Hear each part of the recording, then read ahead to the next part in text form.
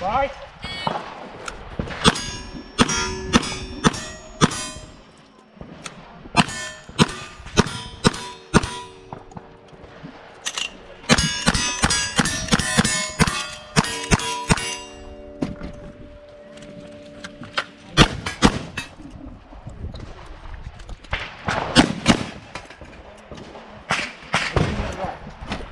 Yeah, good.